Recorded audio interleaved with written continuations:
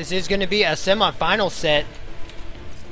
Gonna go ahead and cast none other than BuFuSeltic on the top right as the Zerga McFerguson. Red is his name and color, except it's not really his name. And on the bottom right, we are going to see the dreaded barcode. Uh-oh. The barcode diamond. This could get a little hectic. He's going to be the Terran at the bottom right. Going to go ahead and be blue. Oh, dreaded, dreaded barcode. Very interesting, actually, the spacing between the barcodes. I wonder if... Do you, do you guys notice that uh, there is this spacing between this one, this one, and this one? I bet that that means it's actually an I instead of an L. I bet that's how you can differentiate it if you look at it really closely. But you see I, L, L, L, I, L, L, L, I. I wonder. Or maybe it might be the other, other way around. Anyway, this looks like it is going to be a special edition of the map because we do have the dreaded supply depot. This isn't actually forced spawns, however, I can't tell them that, unfortunately.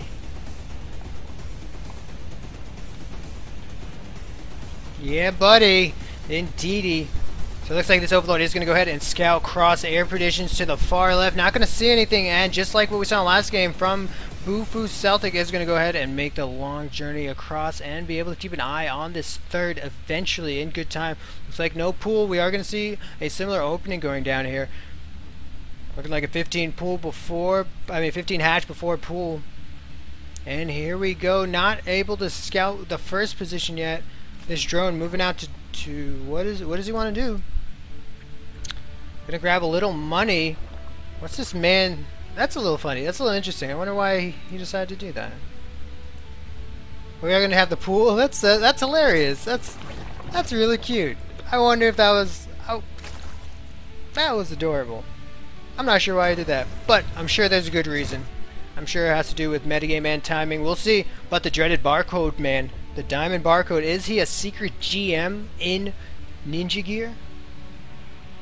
Or is there something more to the story? Or does he aspire to be a GM barcoder?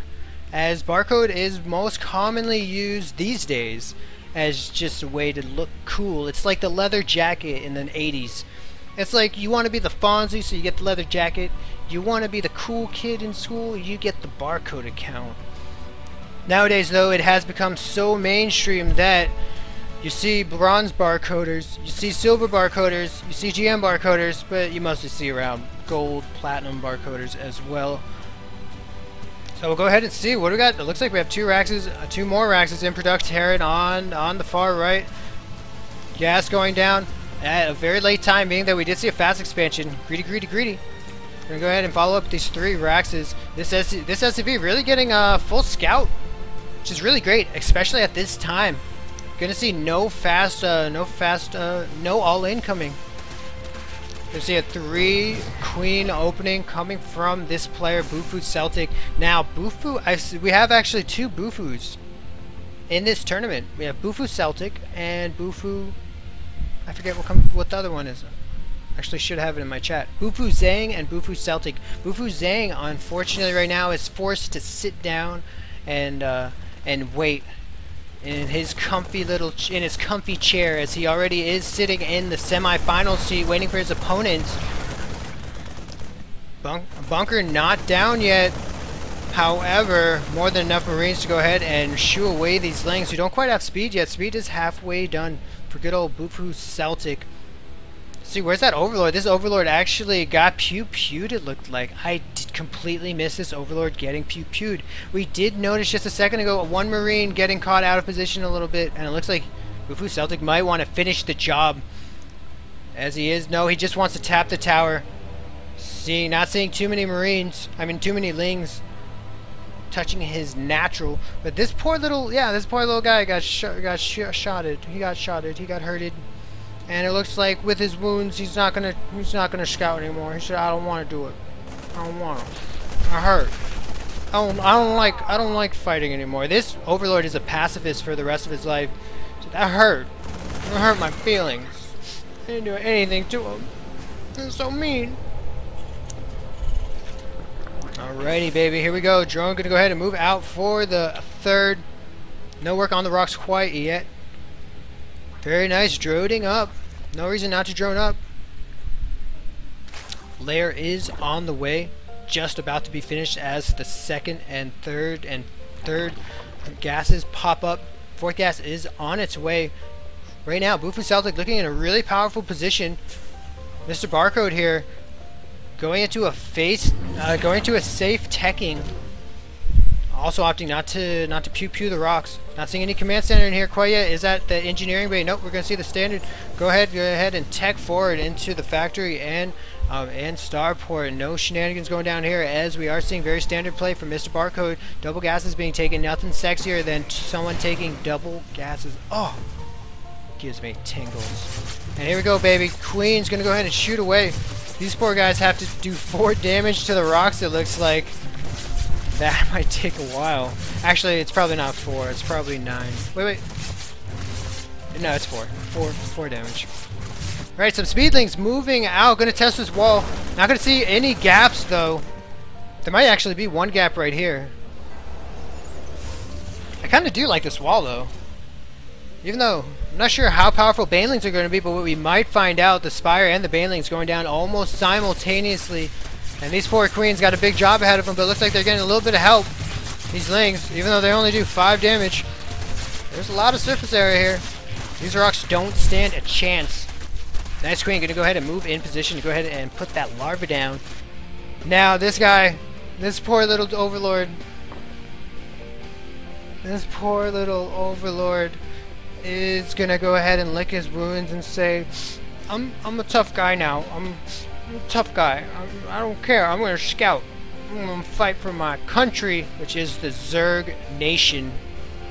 Not to be confused with the Bacon Nation. Baby. Here we go. Looks like a little, looks like a little drop is going to go down at the third. Don't have any Overlord placement right now to go ahead and scout it. But looks like the rest of his forces are going to go ahead and meet a nice pack of speedlings running back home, almost like he knew that that was happening ahead of time. Might have been a little misclick as they were aimed to go into these uh, dropships. And here we go, scooting over to the third. Sergey not saying anything at the third right now, but doesn't suspect this drop quite yet. The Lings are in a nice position, not too far away from home. Dual drop going down in the main and in the natural. Very nice, going to pick it up and move it on out. Will he snipe this Spire or go for the drones? He actually could be in a nice position, but a lot of Lings on the field. So he's going to do a little economic damage Actually, actually might be able to power down one queen. One goes down. Two queens go down. Look at this pack of lings. Just running wild and rampant in their own home. All the queens go down. That's going to be a bit of a pain in the butt as he has to build, rebuild these queens. Or at least one of the queens. No, he has to rebuild two queens for these hatcheries. Nice creep spread going across the map. Might want to build three more queens actually if he wants to have a, a queen for creep. However, it looks like this creep is being uncontested as he does move across the map. Very nice. This this creep this creep tumor could go ahead and be right here and start the path across here. That actually would have scouted. That actually would scout drops. Little lonely Viking, what are you up to, Mister? Is possibly scouting just for overlords. Very common to get that one Viking out to try and get some overlord, and also it may be able to scout the how many mutas are on the field. Definitely isn't Vikings to counter the mutas. He's making the Viking to kill a free Overlord as well as get some scouting across the map. Alright, here we go. It looks like that third command center is already down for the Barcode Terran. Tech is on the way. We do have Thors going down. How many factories do we have in here? One factory to speak of. A total of five Raxes. I mean, six Raxes. And here we go, big engagement coming up. Ubu Celtic wants to go ahead and punish this third. He wants to take it out. Knows that if he can keep Terran on two bases, it's just a matter of time. A nice stim going down. How many units are going to get taken out by these Banelings? Nice little split going down for Mr. Barcode. Actually, not taking too much damage. even though the BuFuSeltics, uh, even though it was Banelings, I'm pretty sure they did have the speed. Yes, they did have the speed. Here comes Infestation Pit, allowing this spire to become his greatest spire once this becomes a the magical and almighty hive.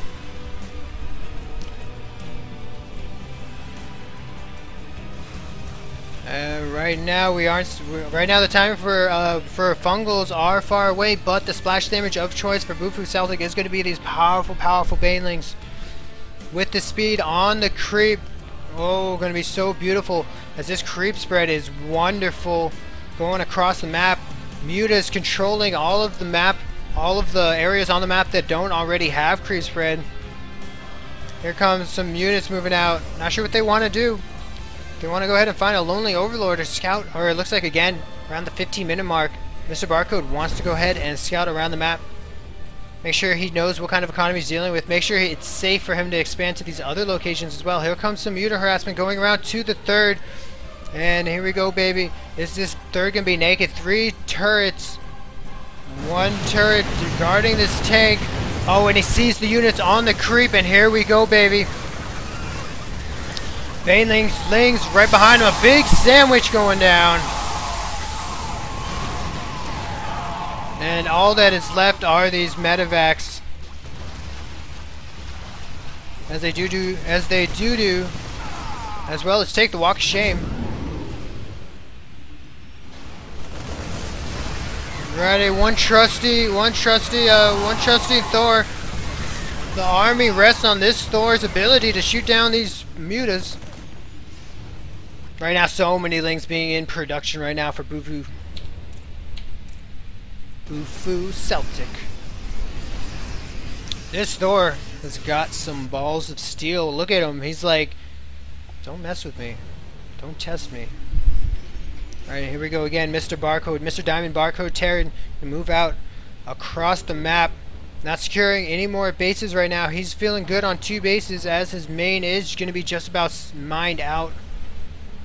And there's that fourth command center. Here we go. We're on creep, baby. How do you like my lings? Banelings on the Thor is going to be enough to go ahead and take care of them. Wufu Celtic, way too much stuff for this army. Again, we are going to see the Walk of Shame. Wouldn't be surprised to go ahead and see. Oh, it looks like all these mutants are going to get are going to be able to get taken out. Very delicate push. We are seeing this aggression over and over. These banelings all being used up. More baneling, 11 more on the way. Can the barcode take this out? Oh, we do see 32 lings in production. No way, no how. Oh, and that was a Thor that got picked up right there, baby. That's a valuable dropship. Brosclops, what's going on, man? A pleasure to see you, Omichi.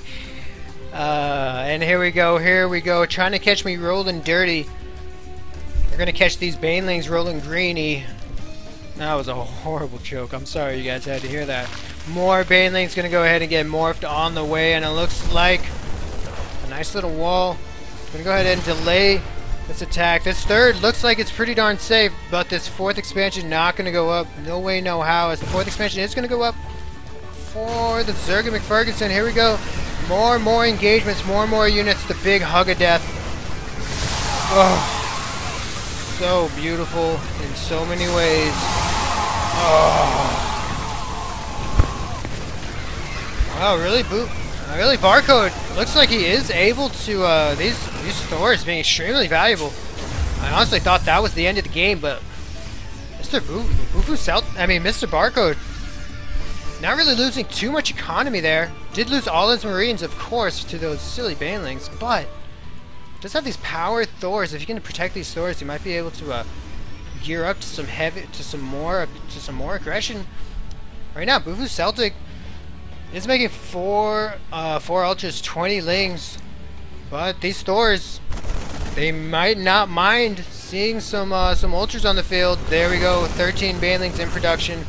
This this isn't gonna this might not be as close as we want it to be for BuFuSeltic.